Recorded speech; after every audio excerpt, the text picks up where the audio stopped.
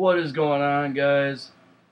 Uh, welcome to another sports vlog. This is my 17th. I am Justin Crumley, and I am joined by my brother from another mother, the living legend himself, Josh Thompson. Say hello to the fans and everybody who's watching. Hey guys. Uh, yeah, I expect to see him a lot more because we've been hanging out too much, pretty much. We have nothing to do. Grown So- men doing little men things Yeah, like playing Xbox and watching cartoons and shit. and complaining about stupid players on our, Pretty much. our favorite teams. Yeah, and we get to complain in front of a camera, which is what you guys are going to get to see today. So without further ado, let's get started. Let's start with Michigan football. They beat Northwestern 10 to 9. Probably the worst offensive stand I've ever seen. Well, I mean, but- it's Michigan football. Yeah, it's fucking Michigan. They've been awful offensively off season, but Frank Clark and Jake Ryan really stepped up, especially Frank Clark. That guy was like black JJ Watt, fucking smacking balls everywhere and, and keeping Northwestern out. And he made the big tackle at the end Yeah. to keep him from getting that two pointer. Thank Which God. I excuse me, which I actually thought was stupid on Northwestern's part. I thought they should have just kicked the PAT.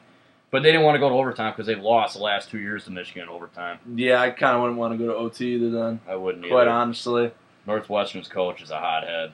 Oh yeah, what's He's a good he's a good coach. Patrick yeah, Fitzgerald? Pat, Pa- uh, Patrick Fitzgerald. There Yeah, he's a good coach. I'll give him that. But he is a hothead.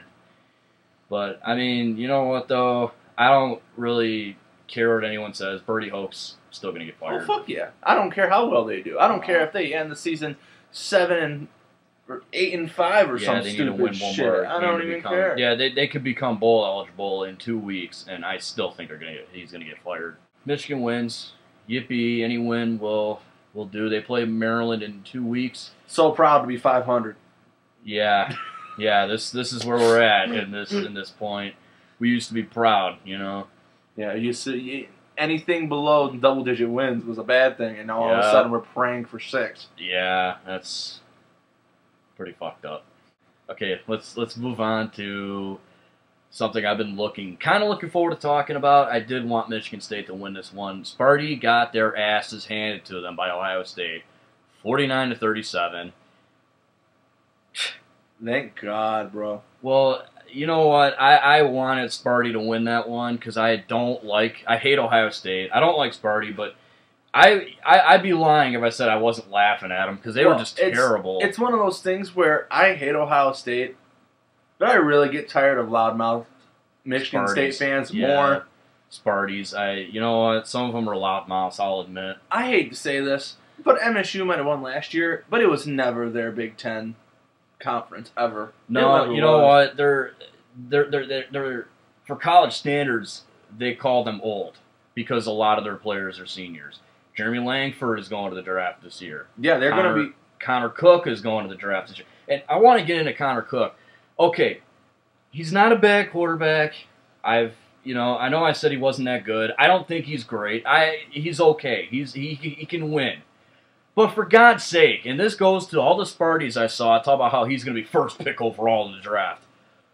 Bullshit. There is no fucking way. If Oakland gets the first pick in the draft, do you honestly fucking think that they're going to pick up a quarterback when they already have one in David Carr? Let alone a quarterback that's mediocre compared Mediocre to some of the other compared ones. to like Marcus Mariota, uh, Bo Wallace. So yeah, there's a couple coming out of yeah, there's a couple coming out of the SEC, yeah, like, and there's, a couple just, coming out of the Pac-12 that Yeah, are just better than let's anyone not in the forget- Ten. Let's not forget Braxton Miller. I mean, the guy's injured, but he could. He's still going to play He's probably gonna be You know, like what's his name was. Uh, wide receiver or something. no, no, he's gonna be like uh, the other guy that got in trouble from Ohio State. Terrell Pryor. There you go. Terrell Pryor, yeah, yeah, that you ever was. notice that? They can't keep their quarterbacks healthy. Yeah, they can't. Troy Smith. Barrett might want to keep a yeah, eye over his wanna- shoulder. Yeah, he might want to sleep with one eye open. Fuck yeah, man! He'd be Uh, the J- third one. JT Barrett played a hell of a game against uh, Michigan State. He had five touchdowns He when had I last yeah, watched. yeah, I think he had six. Destroyed. well, they won six. 49-37, and they. I mean, I saw JT Barrett making throws, making passes. I was like, no way, that fucking receiver caught the ball. Oh my god. Yeah, he was- they You know, were. Michigan State got outplayed offensively and defensively. Their defense looks awful. Like they kept saying, "Oh, Sparty's defense will win the game for them." They got their def- their defense got fucking handed yeah, to them. I watched. I watched I mean, they got guys destroyed. backpedaling the whole game. It was it was like Oregon all over again. It really was. Ohio State dominated Sparty. Unless Michigan can beat Ohio State in three weeks, which I really hope happens, but I just don't see it this year. That's the only way Michigan State will be able to head into the Big Ten championship, and and even then, they got to hope for Ohio State to lose their next, I think, three, two. You know, like Ohio that. State has to lose out. Yeah, and U of Michigan M State has to win out, Yep, and Michigan State has to has lose to out pretty much. because we would have to beat Ohio State to, with the, to get the tiebreaker. We can't get a tiebreaker against No. MSU. No, we can't. We we no. So I, I meant for like Sparty to take the division. I Oh, well, I don't want it either of them winning. I, no, no, no. But they probably will. Ohio State is probably my pick for the Big Ten East. Yeah, I don't see. I don't see anyone in the. And I think Ten in the. West, it's probably gonna be Nebraska. Oh yeah, for sure. So, yeah, let's. let's so it's gonna be prepare in for that. Nebraska, Ohio State. Okay, so basically, Connor Cook was terrible this game. Uh, Tony Lippett didn't do much. Jeremy Langford did his job. He did what he could. I still think Sparties need to give Jeremy Langford more credit. Those big men need to ice their wounds. They got beat up. Yeah, they did. Both I- sides. In, in my opinion, Jeremy Langford is going to be a, a, a he's going to nail it in the NFL. I think he will. I really do Yeah. think he has a future. MSU always seems to produce pretty good running backs. Yeah, Le'Veon, anything. Le'Veon Bell. A couple. You know, that's that's one.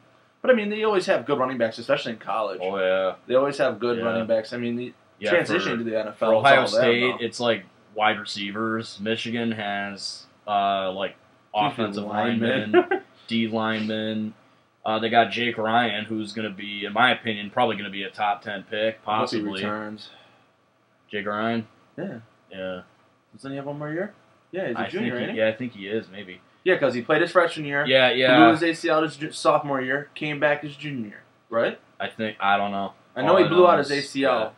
No, so- knowing the way he's playing, though, he'll go to the draft. Oh yeah, he's playing And- very well. I mean, I wouldn't be surprised if Oakland picked him up. They could use a they could use a guy like that. I'd like to see Detroit get him too. That'd be awesome. Yeah, they to have be that, nice to have that athletic like a yeah linebacker. yeah one that won't blow his ACL doing a celebration.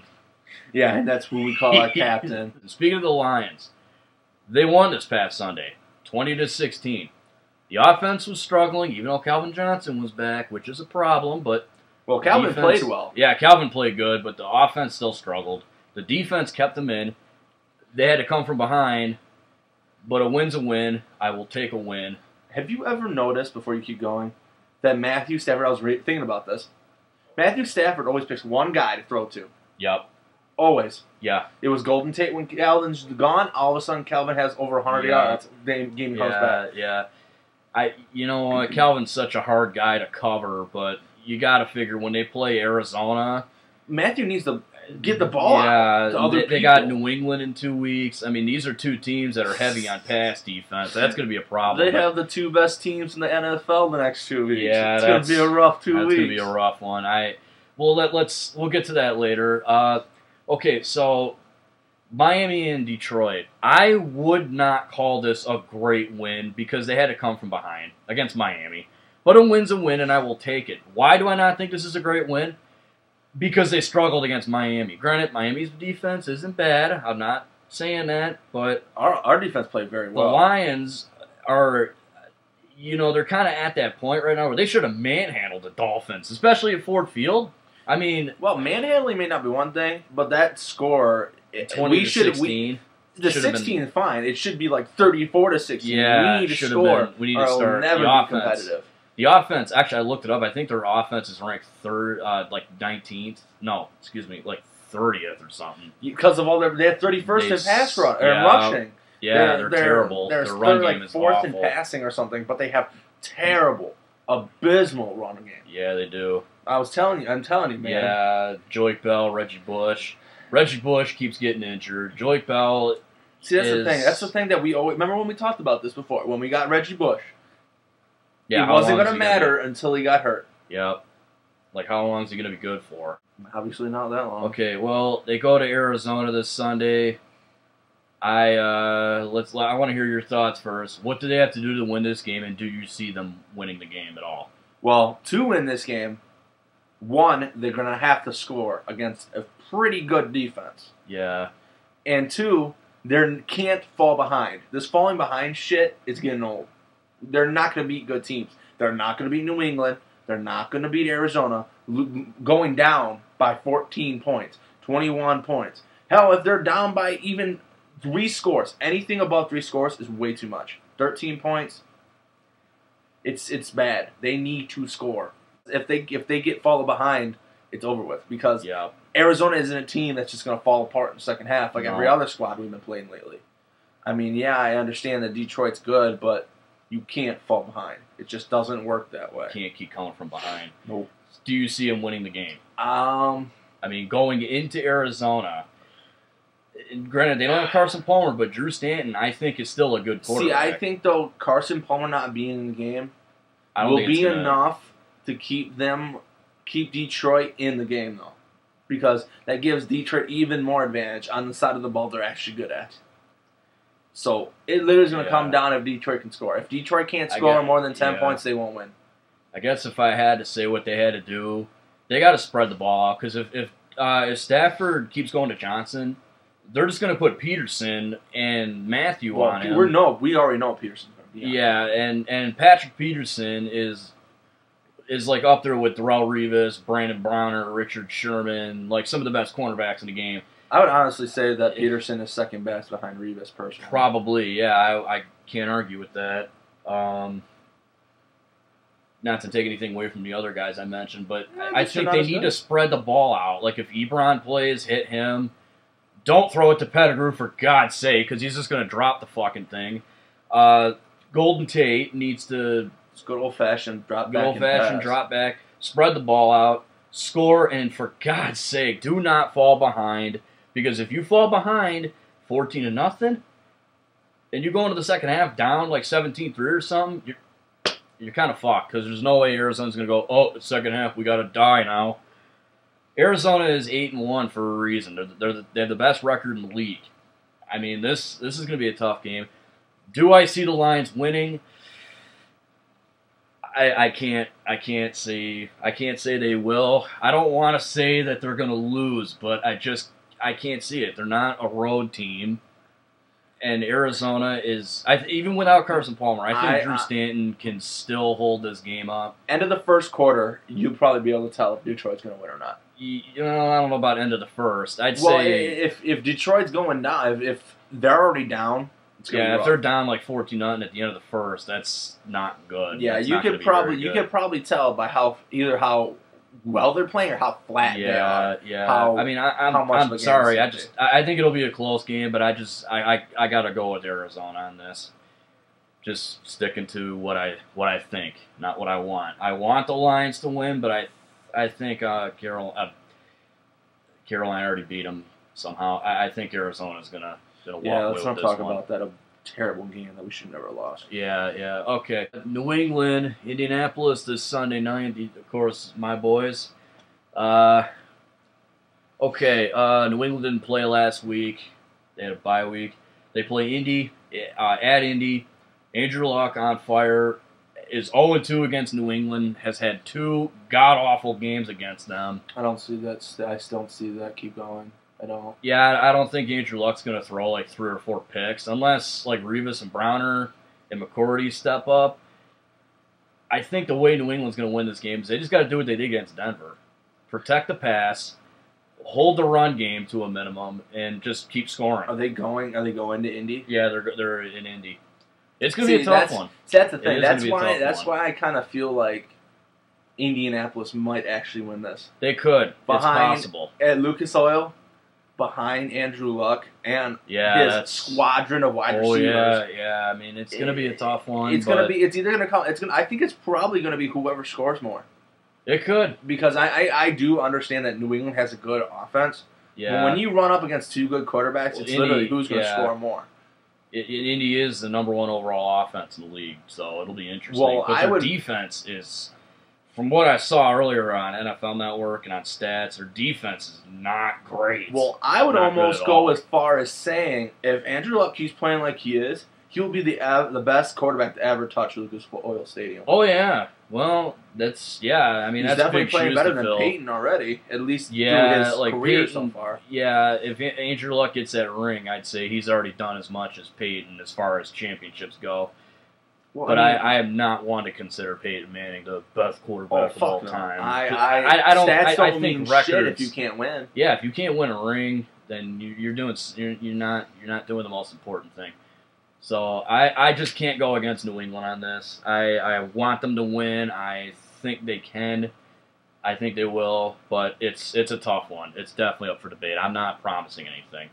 Okay, let's move on to baseball. I forgot to mention this last week, but Andy Dirks got claimed off waivers by the Toronto Blue Jays. I don't care. I wasn't really that big a fan of Andy Dirks. He had back surgery, so who the hell knows if he'll even fucking play. And Patrick McCoy, who was a left-handed relief pitcher, got claimed by the Orioles. That's fine. I want to see Andrew Miller come in for him because the Tigers need to look at that bullpen, need to fix that bullpen, and they may need to get another bat. And you guys will find out in a minute. Yeah. Um.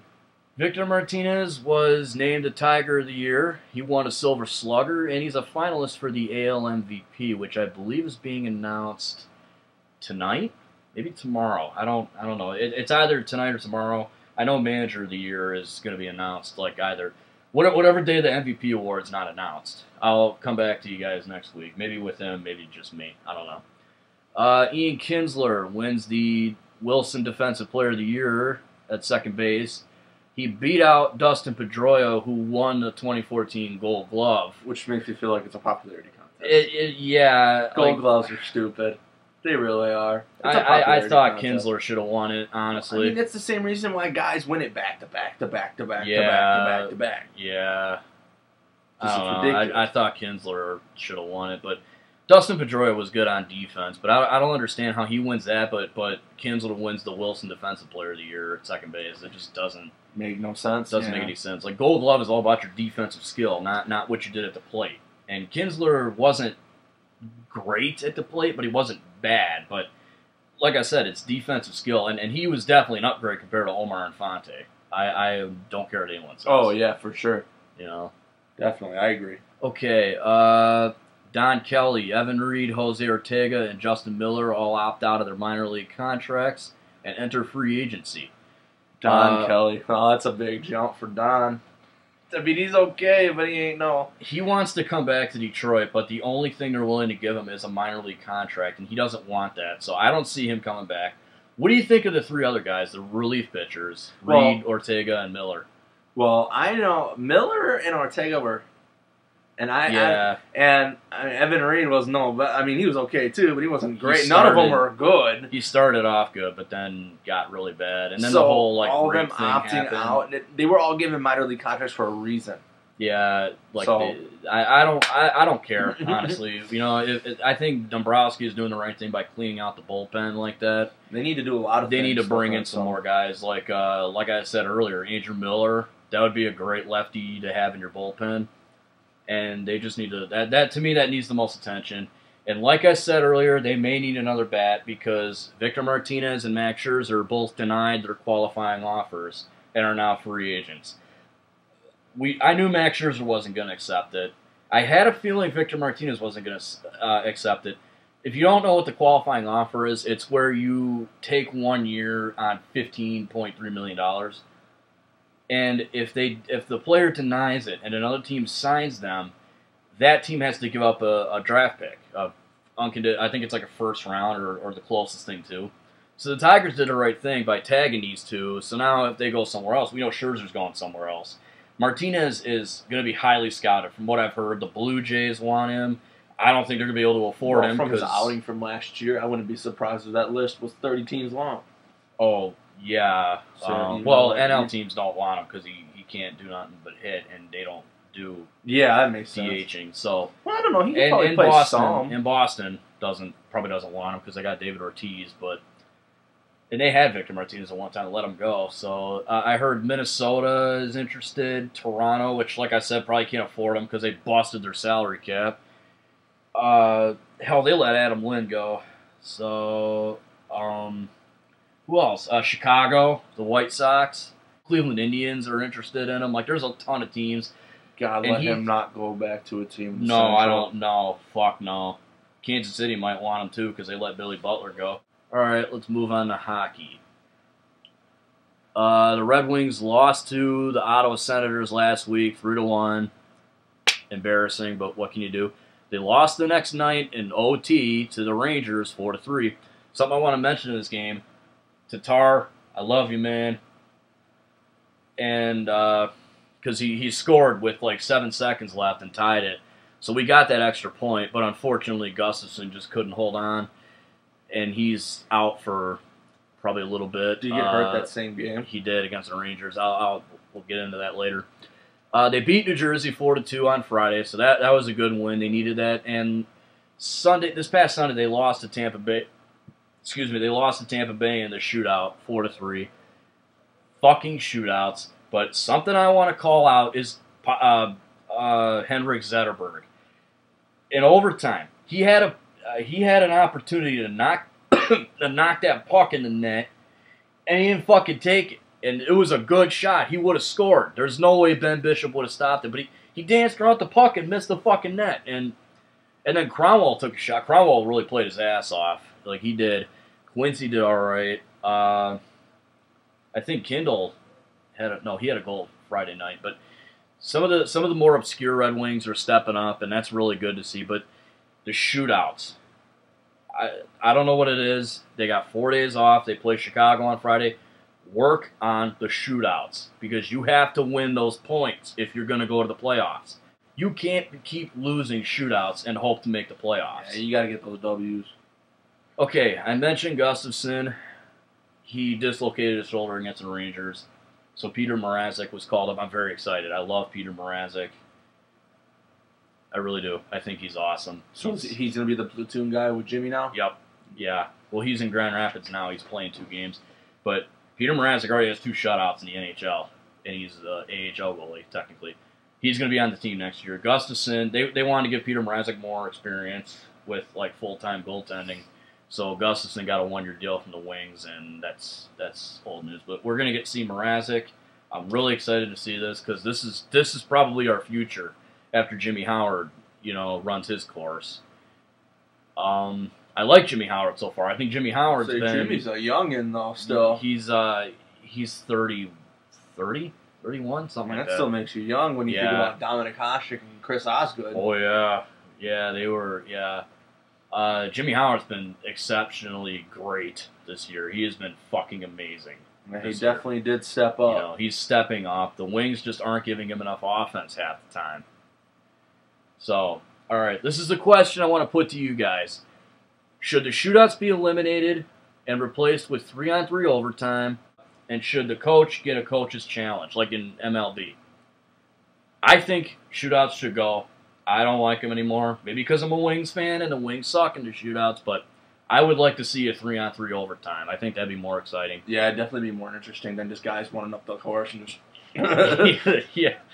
And I do think the coaches should get a coach's challenge because I don't think the refs get it right all the time. And I think, I know, granted, they review a lot of them, a lot of goals and whatnot, but I do think that sometimes the refs don't see something or sometimes they make the wrong call.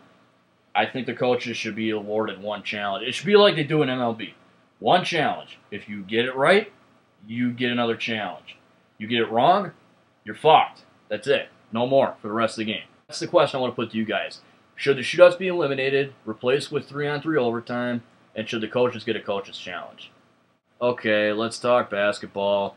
Not much to say here. The Pistons finally won a game against the Knicks, which actually kind of surprised me because they have Carmelo Anthony and they're actually pretty good team. Uh, they beat the Bucks, but they lost to the Jazz and they lost to the Bulls last night. They're two and five. Typical Pistons. Yeah, Woo! you know, guys, I would be lying if I if I were to tell you that I expected great out of them this year because they just changed coaches again for like the umpteenth fucking time. They got a new general manager too. You know, Stan Van Gundy is both the coach and the GM. So you you got to give them time, and by time I mean a couple of years to build a structure and go somewhere with it.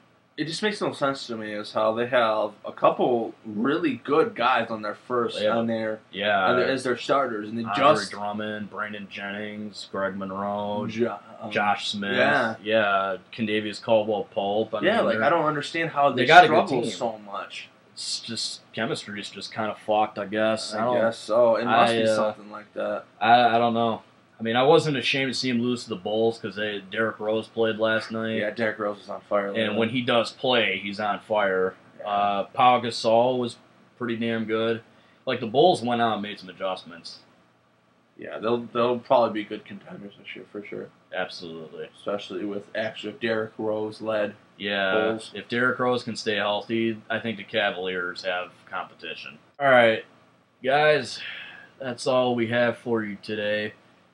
Um, you know the you know the drill. Hit me up on Twitter at Cujo06241 or him at TomJosh69. I will tweet you back if you tweet me. I don't Yeah. tweet all that often, but I will tweet you back. Yeah, yeah, he will. And you, you- me, I, I more than often follow back, also almost all the time. So if you want to follow me, just you know, let me know who you are. Uh, for Tom Josh sixty nine or Josh Thompson, if you want to call him that, the living legend. Oh yeah. I'm Justin Crumley, and this is Cujo 06241 signing out.